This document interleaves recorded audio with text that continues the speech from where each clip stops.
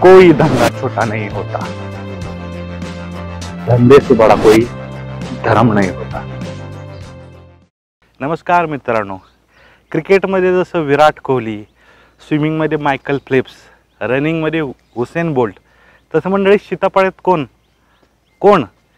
चला जाणूया आणि बघूया सीताफळात नक्की कोण आहे. चला या माझ्याबरोबर.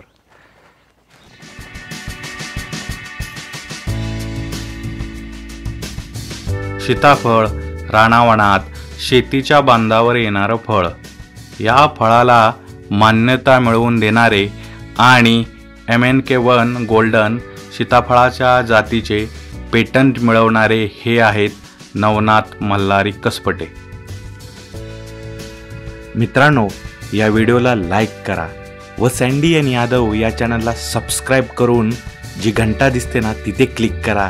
त्यानंतर ऑलवर नक्की क्लिक करा आणि सगळ्यात पहिल्यांदा व्हिडिओ पहा. ही variety N M K one golden आहे. N M K one golden म्हणजे काय? तर एन एम के माझं येनेशर आहे. नवनाथ मल्हारी कसपटे. आणि गोल्डन म्हणजे गोल्डन कलरची दिसते मग गोल्डन नावानं ओळखली जाते बाहेर. तर ह्याला बऱ्याच ठिकाणी सुपर गोल्डन म्हणतात कुणी काय काय कुणी काय म्हणतात पण मूळ नाव ह्याचं N M K one golden आहे. ह्याचं वैशिष्ट्य असं आहे की हे दिशेला अतिशय देखणी आहे. आणि इतर लोकल सीताफळ संपल्यानंतर ही मार्केटमध्ये येते. त्यामुळे कॉम्पिटिशन होत नाही. सगळ्यात महत्त्वाच्या ह्याच्यात बिया कमी आहेत. दिसायला देखणी आहे. आणि किपिंग क्वालिटी खूप चांगली आहे. झाडावर तुम्ही पंधरा वीस दिवस ठेवू शकता. आणि काढल्यानंतर तुम्ही सहा सात दिवसानंतर पिकते. तर अशा अनेक व्हरायटी मी काढल्या आहेत क्रॉस पॉलिनेशनमधून त्या पाहण्यासाठी तुम्हाला दाखवतो आता या माझ्या पाठीमागून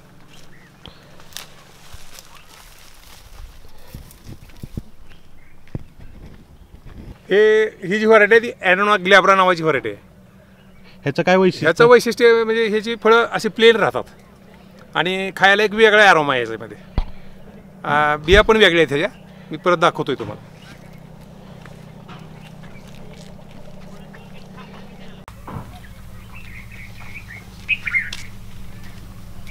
अशा प्रकारच्या अनेक व्हरायटी आपल्याकडे इथं लागवड केलेली आहे. प्रत्येकाला बोर्ड वगैरे मस्तपैकी लावलेले आहेत. आणि प्रत्येकाची गुणवैशिष्ट्ये वेगवेगळी आहेत. याच्यात आपण सर्वसाधारण बेचाळीस व्हरायटी इथं कलेक्शन आणि काही आपण स्वतः तयार केलेल्या आहेत त्या. तर त्याच्या सगळ्याला फळं आहेत. सगळ्याचं पाहण्यासारखं आहे इथं. एवढंच नाही तर आपण क्रॉस पॉलिनेशनमधून अडीच हजार व्हरायटी लागवड केलेली आहे दुसरीकडं. तर ते सुद्धा आपण पाहू त्या आणि किती टोटल क्षेत्रामध्ये लावले पन्नास एकरामध्ये ही सगळी लागवड आहे. आणि नर्सरी एक दहा एकरमध्ये आहे. असं चालू आहे. सध्या एन एम केवन गोल्डन सगळ्यात चांगली व्हरायटी आहे.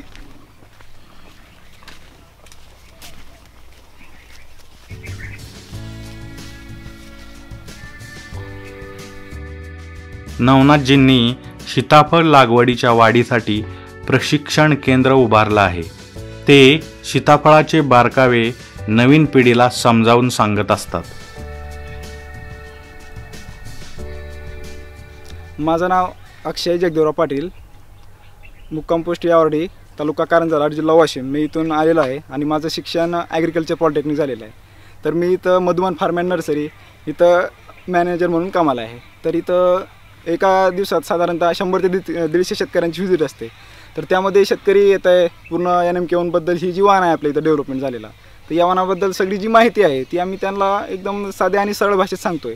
आणि त्यानंतर महाराष्ट्रातूनच नव्हे तर इतर अठरा राज्यातून आणि बाहेर देशातून ते इथं शेतकरी येत आहे व्हिजिटसाठी तुम्ही किती जण आहात इथं आम्ही इथं आमचा पूर्ण आठ जणांचा स्टॉप आहे.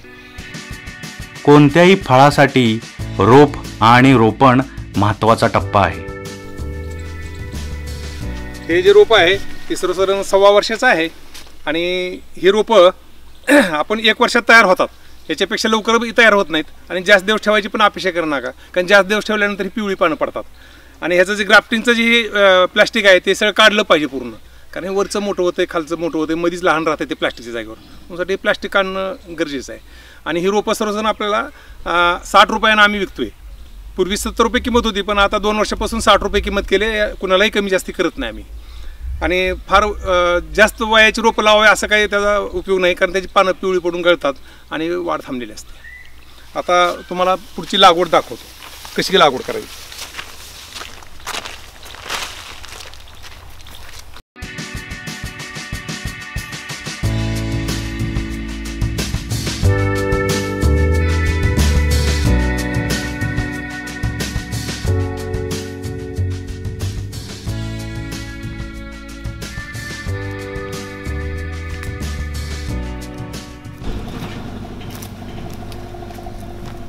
इथं आपण नवीन लागवड पाहतोय. या लागवडीचं पहिला लागवड करत असताना आपण मातीत जेवढी बॅग बॅगमध्ये माती आहे तेवढंच मातीत घातलं पाहिजे. यापेक्षा जास्त घालायचं नाही. आणि वाढल्यानंतर अडी ते तीन फुटावर शेणा मारला पाहिजे. ह्याला थोडासा उशीर झाला आहे तर अडीच तीन फुटावर हा शेणा मारायचा. जसं ह्या काय इथं अडीच तीन फुटावर शेणा मारला आहे आणि शेणा मारल्यानंतर परत ह्या फांद्या आल्या त्या. ह्या फांद्या परत अडीच तीन फुटावर परत ह्याचे शेणे मारले पाहिजे असे. एवढं एवढं शेणा मारलं तरी बस होते. ही ही एक ह्याचं आकार देण्याची पद्धत आहे. ही असं असा शेणा मारला पाहिजे. आणि ह्याचं लागवडीचं अंतर जे आहे ते आठ फूट असं आहे. एका लाईनीमध्ये आठ फूट आणि दोन लाईनीमधलं अंतर सोळा फूट आहे. हे सगळ्यात आतापर्यंत योग्य ठरलेलं अंतर आहे. एका एकरात साधारण किती झाडं लावली जातात? चाळीस झाडं बसतात एका एकरामध्ये. आणि पाण्याचं कसं नियोजन असतं याला पाण्याचं वैशिष्ट्याचं असं आहे की सुरुवातीचं दोन वर्ष पाणी आपण दिलं पाहिजे. गरजेप्रमाणे. वापसा वापसा कंडिशन होईल असं पाणी दिलं पाहिजे. पण दोन वर्षाच्या नंतर जानेवारी ते जून पाणी द्यायचं नाही. एक थेंबही द्यायचा नाही. असलं उपलब्ध तरी पण द्यायचं नाही. जसं माणसाला रात्रीच्या आठ तास झोपीची गरज आहे. तसं ह्यालासुद्धा सहा महिने झोपीची गरज आहे. जानेवारी ते जून हे सहा महिने त्याला कुठल्याही प्रकारचं डिस्टर्ब करायचं नाही. त्याला गाढ झोपू द्यायचं. हे वैशिष्ट्य आहे पाण्याच्या बाबतीत त्याचं आजच्या दिवसाचा माल काढून झाला आहे. त्याच्या प्रतवारीचे काम सुरू आहे.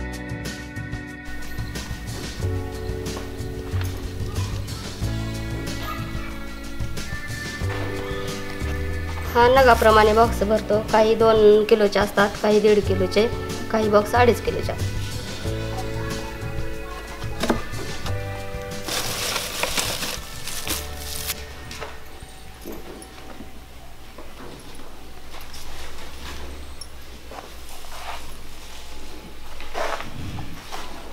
मी प्रवीण कसपटे. मी इथं सीताफळ शेतीसोबत याचं मार्केटिंग पण बघतो. माझा एक भाऊ आहे रवींद्र कसपटे. तो इथे शेतामध्ये असतो. आणि हे सध्या आम्ही ग्रेडिंग करतो सीताफळाचं. तर या ग्रेडिंगमध्ये ब एक दोन नगाची साईज असते नंतर चार नग सहा नग नऊ नग असं वेगवेगळे असतात. त्याच्यातली ही मोठी साईज असते ही लोकलला खूप चांगला भाव भाव मिळतो आपल्याला म्हणजे पुणे आणि मुंबईमध्ये. तर साधारण याला एका दोन नगाला अडीचशे रुपयाचा बॉक्स अडीचशे रुपयाला बॉक्स जातो तो. आणि एक्सपोर्ट पण होतो. ते मीडियम साईज आहे. ते मीडियम साईज या साईजचा जे असते ते मीडियम साईज असते. तर ही एक्सपोर्ट होते दुबईला मस्कतला. तर याला पण चांगला भाव मिळतो. तर एकरी साधारण किती जातं? एकरामध्ये साधारण दहा ते बारा टन आपल्याला उत्पन्न मिळतं याच्यामध्ये.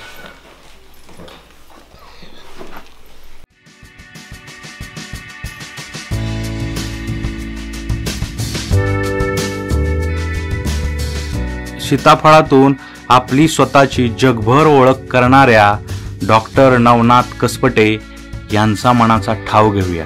चला मग.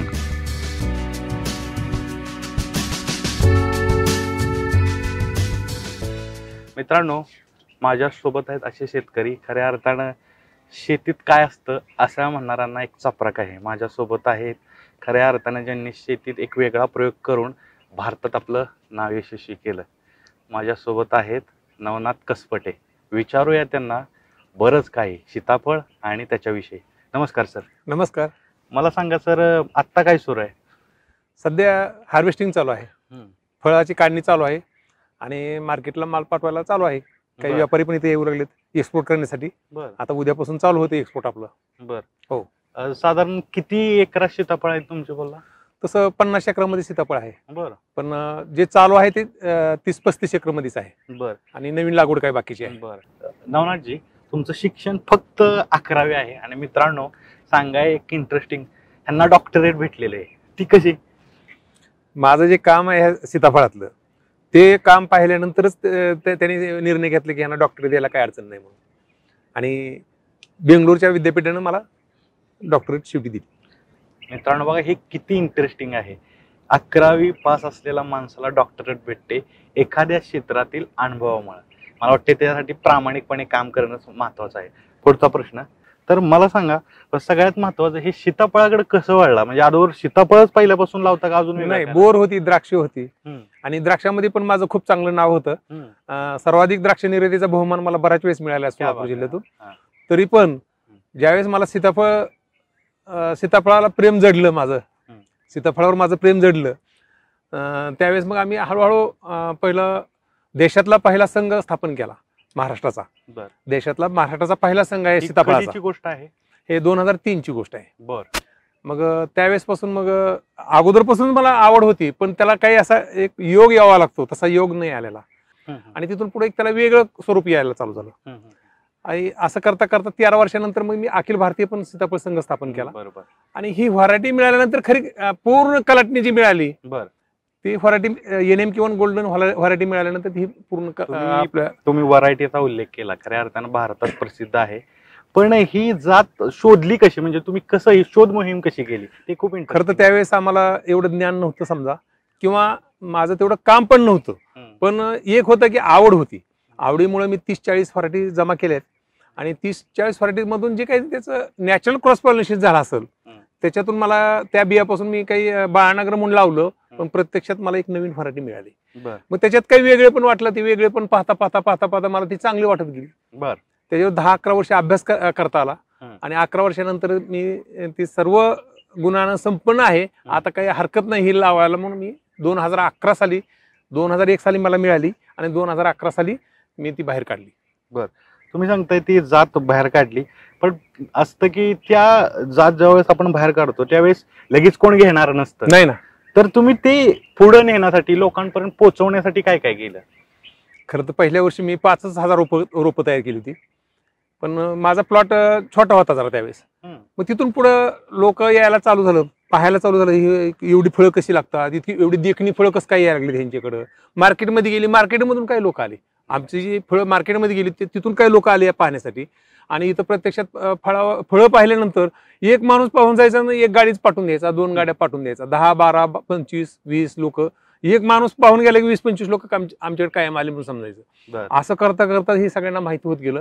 आणि आज रोजी देशामध्ये ऐंशी टक्के लागवड ह्याच व्हरायटी होत आहे. क्या बात. हो. याचं श्रेय तुम्हाला हो. मित्रांनो बघा एका छोट्याशा ठिकाणावरून त्यांनी एक खऱ्या अर्थाने एक वाण निर्माण केलं आणि ते आज देशभरात गा गाजते पण मला इंटरेस्टिंग विचाराय आवडेल की तुम्ही ज्यावेळेस सुरुवात केली हे शेतीला किंवा काय तर तुम्हाला वाटलं नाही का? त्यावेळेस तुम्हाला तर वारसा नव्हता. सीताफळाचा वारसा नाही. कुठल्याही फळबागेचा वारसा नाही. तर तुम्हाला वाटलं नाही का त्यावेळेस की नोकरी करावी किंवा वेगळं काहीतरी करावं? तुम्ही इकडंच शेती आणि फळबागेकडे का वळला? मी तुम्हाला खरं सांगतो. ज्याची त्याची आवड ही आवडच असते. मी अकरावी पासच झालोय. मग त्यावेळेस सुद्धा माझ्या भावानं मला शिक शिकण्यासाठी त्याच्या नोकरीच्या ठिकाणी नेलं पण मी म्हटलं मला साधारण शिकायचं नाही मला जर डॉक्टर इंजिनियर करत असाल. तर मी शिकन नाही तर मी पुढचं शिकणार नाही म्हटलं. आणि पैसा नव्हता त्यावेळेस. पैसा नसल्यामुळे मला शिकवलं नाही. तुला काय करायचं कर तू शेती कर हम्म. मी शेती जरी केली तरी पण मी शेवटी डॉक्टरेट झालोच.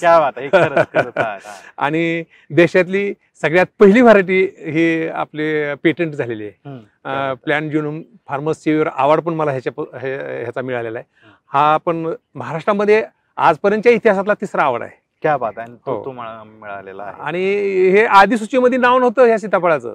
म्हणजे पेटंट जे आपण म्हणतो जे शेतकऱ्याला अ, ह्याच्याबद्दल जे पेटंट मिळते ते पेटंटसाठी सीताफळाचं नावच नव्हतं. आंबा होता तुमचे डाळिंब होतं असं सगळी काही फळं होती पण. सीताफळाचं नाव नव्हतं. मग ते पेट पेटंटसाठी नाव घ्यायला अधिसूचित नाव नाही म्हटल्यानंतर मग त्यांना नाव घ्यायला भाग पाडलं मी. बरोबर. केंद्र सरकारला. आणि केंद्र सरकारनं ती नाव घेतलं दोन वर्ष लावली दोन वर्षानंतर नाव घेऊन मग आम्हाला सांगितलं की आता आमचं अधिसूचीमध्ये नाव घेतलंय तुम्ही तुमचं काय ते प्रस्ताव. पाठवा.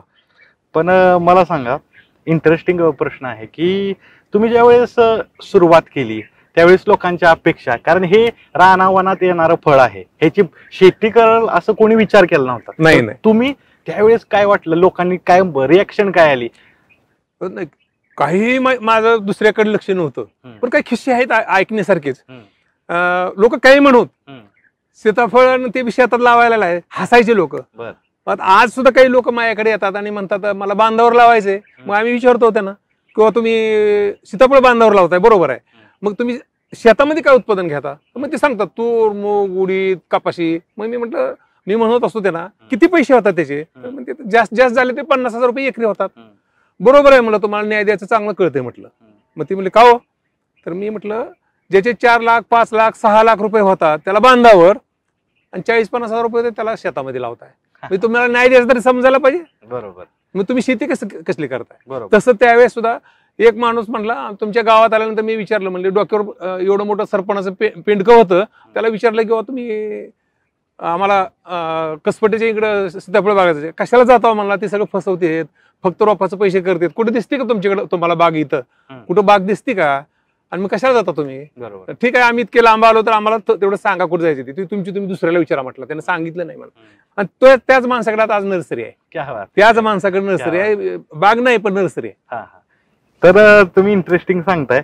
पण मला सांगा की ज्यावेळेस तुम्ही सीताफळ लावायला सुरुवात केली आणि फायदा भेटला काय एक फायदा भेटायला सुरुवात केली. हो. पण असं नाही की प्रत्येक वेळेस फायदाच भेटला. कधी कधी तोटा बी झाला असेल. तर त्यातून तुम्ही कशी उभारी घेतली? सुरुवातीला माझ्याकडे दीडच एकर सीताफळ होती.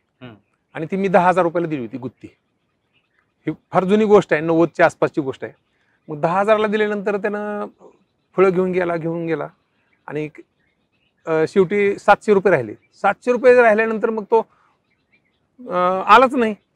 मग आता काय करायचं? मग आमचा खरबुजाचा टेम्पो जात होता वाशी मार्केटला. मग त्यावेळेस आम्ही काय केलं? ती फळं काढली आणि पाठवली. तर परत आमचे दहा हजार रुपये झाले. सातशे रुपये राहिल्यावर त्याने सोडून गेला आणि परत आमचे दहा हजार रुपये झाले. हे आम्हाला मार्केटिंग कळालं. त्याच्यात तत्व कळालं किंवा ह्यात किती पैसा होतो ती. हम्म. आणि तुम्ही म्हणता तसं तोटा खरं कधी आलाच नाही. बर. हा कमी जास्त झालं. पण तोटा कधीच आला नाही. आणि माझ्याकडे द्राक्ष होती द्राक्षात माझे उच्चांक होते एक्सपोर्टचे. तरी सुद्धा त्याच्यापेक्षा मला जास्त पैसे ह्याच्यात मिळालेले. ह्या सीताफळात. पण नेहमीच जास्त मिळाले नाहीत कधी कमी मिळाले. पण कमी मिळाले तरी इतर पिकापेक्षा फायद्यातच आम्ही खूप म्हणजे- चांगल्या फायद्यात होतो त्यामुळे आम्हाला सीताफळाचं पक्क वेड लागलं. आणि एक अॅग्रोवनचे सुदर्शन सुतार हा. ते म्हणले मग तुम्ही एवढं सीताफळ चांगलं म्हणता मग द्रा- द्राक्ष कशात ठेवली त्याच वर्षी मी द्राक्ष काढून टाकली आणि मला ते पटलं एकमेव म्हणजे एकावरच आपण जर स्पेशालिटी केली तर. आपण त्यात काहीतरी करू शकतो आपलं अर्ध द्राक्षाकडे लक्ष अर्ध सीताफळाकडे लक्ष म्हणजे आपण स्पेशालिटी करू शकत. करू शकत नाही तर. त्याच्यापासून आम्हाला खरं प्रोत्साहन चांगलं आणखी सांगताय मिळालं. नवनाथजी की हे फायद्याचं पीक आहे खऱ्या अर्थानं फायद्याचं फळ आहे पण मला सांग ह्याला वातावरण कसं लागतं हे येण्यासाठी? काय विशेष वातावरणाचा काही नाही याला संबंध. जिथं अडीच हजार मिलीमीटर पाऊस पडतो तिथंही सीताफळ येते. आणि आमच्याकडे तर चारशे पाचशे मिलीमीटर पाऊस पडतो तर तिथं आमची इथंही येते. कारण ह्याला पाणी फार कमी लागतो हम्म. कारण सुरुवातीला दोन वर्ष थोडं थोडं पाणी द्यायचं असतं नवीन वाढ होत असते म्हणून. पण दोन वर्षाच्या नंतर जानेवारी ते जून पाणी द्यायचं नाही मी सहा महिने पाणी द्यायचं नाही हो. आणि पाण्याचा हा महत्त्वाचा प्रश्न. आम्हाला प्यायला पाणी नाही. एवढं आमच्याकडे हिरवगार दिसतं. लोक एवढी पाहायला येतात दररोजच्या दररोज. एवढं आमचं कौतुक सगळीकडे केलं जाते. पण पाणी मात्र प्यायला नाही आमच्या शेतामध्ये. आम्ही पाच किलोमीटरहून पाईपलाईन आणली. आणि ती पाईपलाईन आणून इथं पाणी कसं बसं भागवतोय. फक्त आता नर्सरीला पाणी लागतं. याला तर पाणी लागत नाही. जानेवारी ते जून पाणी द्यायचं नाही. हो उन्हाळ्याचे सहा महिने पाणी द्यायचं नाही. त्यामुळं आम्ही अतिशय खुश आहे या गोष्टीत. कारण. आमच्याकडे पाणीच नाही आमच्या भागात. पण आता ते झालं म्हणजे तुम्ही पाण्याचं सांगताय पण कसं माती कशी असावी? कसं नक्की काय त्यातलं क्लायमेट कसं असावं? ते नक्की कसं असावं? आता कुठलंही फळ येण्यासाठी आपल्याला पहिलं पाण्याचा निचरा होणं महत्वाचं आहे. बऱ्याच लोकांचं मत आहे की भारी जमीन येत नाही. शंभर फूट खोल जमीन येते त्यांच्याकडे लागवड आहे आणि त्यांच्याकडे व्यवस्थित येते. आणि हलक्यात हलकी जमीन आहे तिथं पण येते. फक्त खाली फरशी टाकल्यासारखा खडक नसावा. कारण त्याच्यात मुळीच जाऊ शकत नाही आणि वरी चार सहा बोटच माती आहे तर तिथं नाही येणार. टिकावणं तरी खोदलं पाहिजे एक दीड दोन फूट टिकावणं खोदलं पाहिजे. असं जरी जमीन असली तरी तिथं सुद्धा येतं. म्हणजे हलक्यात हलक्या जमिनीमध्ये येतं आणि भारीत भारी जमिनीमध्ये पण येतं. आणि पाण्याचं तर तुम्हाला सांगितलं बरोबर जून ते जानेवारी पर्यंत पाणी द्यायचं मग ह्या काळात पाणी कुठेही असतो. बरोबर. पण अजून पुढचा प्रश्न येतो की हे सीताफळ जे फळ आहे ते किती दिवसात येतं? साधारण आपण लागवड केल्यापासून दोन वर्षानंतर त्याचा भार धरायचा.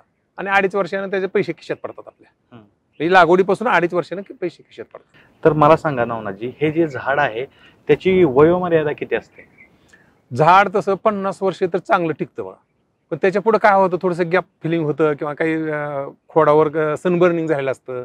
त्यामुळे थोडंसं कमी जास्ती उत्पादन होतं. पण पन्नास वर्ष इजी चांगलं चालतं. आणि त्याला थोडीशी काही टेक्निक आहे छाटणीचं वगैरे. ती टेक्निक जर आपण वापरलं तर हमखास त्याच्या पुढेही चालतं बघा. मला सांगा नवनाथजी सगळ्यांना महाराष्ट्राला प्रश्न पडतो तुम्ही एवढं सुंदर करताय सगळ्या गोष्टी आहेत. तुम्हाला किती उत्पन्न मिळवून देतं सीताफळ? सीताफळाचं उत्पन्न मी सांगितलं आता चाळीस एकरमध्ये माझं चालू आहे. तर अडीच कोटीपर्यंत माझं उत्पादन होते. चाळीस एकरमध्ये अडीच कोटीचं उत्पादन होते. वरचं दहा एकर जे आहे ते नवीन आहे लागवड त्याच्यातलं आणखी उत्पादन मिळत नाही. आणि रोपाचं तर आता माझं पेटंट आहे त्याच्यामुळं मला रोपाचंही चांगल्या पद्धतीनं उत्पादन मिळते. दहा लाखाच्या आसपास माझा टर्नओव्हर होऊ शकतो. टर्न ओव्हर क्या बात हा तर एवढं उत्पादन मला मिळतं. पण ते रोपाचं झालं. पण बागेचं सुद्धा अडीच कोटीपर्यंत माझं उत्पादन मिळते. मित्रांनो खूप सारे तरुण म्हणतात शेतीत काय? बघा शेतीतील एक व्यक्ती डॉक्टर होऊ शकतो करोडपती सुद्धा होऊ शकतो. नवनाथजी तुम्ही एवढं विक्रमी उत्पादन घेता सर्व काही म्हणजे आता रेकॉर्ड आहे तुमच्या नाव. तरुणांना वेगळं काहीतरी करायचे. स्पेशली उद्योगधंदा करायचा असेल किंवा फळबागा लावायचा असेल तर त्यांनी काय करावं? त्याने एक खूनगाठ बांधली पाहिजे. मी ह्यात यशस्वी होणार आहे. आणि चांगल्या चांगल्या ठिकाणी फिरून चौ माहिती घेणार आणि मी यशस्वी होणार. हे जर ह्या दोनच गोष्टी जर मनात ठेवल्या तर कुणीही यशस्वी होऊ शकतं. आणि त्याच्यात हिंमत पाहिजे मी नोकरी सोडून सुद्धा मी नोकरीपेक्षा जास्त पैसे मिळवेन मिळवेन. अशी हिंमत अस असल्यानंतर काहीही अडचण येणार नाही. मला सुद्धा ही प्राप्त परिस्थिती जी म्हणतो आपण नॅचरल निसर्गाची जी निसर्गाची देण म्हणतो ती काहीच नाही तरी पण मी उच्चांकी करतोय. काहीच नाही म्हणजे मला पाणी सुद्धा नाही. पाण्यासाठी माझे साठ सत्तर सत्तर ऐंशी बोर झालेत. विहिरी झाल्या पण पाणी नाही. प्यायला पाणी नाही उन्हाळ्यामध्ये माझ्याकडे. तरी सुद्धा मी यशस्वी होते. मग बऱ्याच लोकांकडे ते त्याच्याकडे नॅचरली त्याच्याकडे त्याची कंडिशन चांगली असते. मग त्यानं त्याचा फायदा घेतला पाहिजे आणि त्याच्यात हिंमत पाहिजे मी एवढं करून दाखवीन याची अशा हिम्मतवान कर्तृत्ववान सीताफळाच्या राजाला सलाम. मित्रांनो हे होतं कस्टर्ड ॲपल अर्थात सीताफळ याची बरीचशी माहिती आपण पाहिली. मित्रांनो ह्या व्हिडिओला जास्तीत जास्त शेअर करा लाईक करा आणि सँडी आणि यादव या चॅनलला नक्की सबस्क्राईब करा. आणि हो मी इंस्टावर आहे ट्विटरवर आहे फेसबुक पेजही आहे. तिथं नक्की लाईक करा. भेटूया नवीन विषयासह आणि नवीन व्यक्तीसह. तोपर्यंत पाहत राहा तुमचं चॅनल सँडी आणि यादव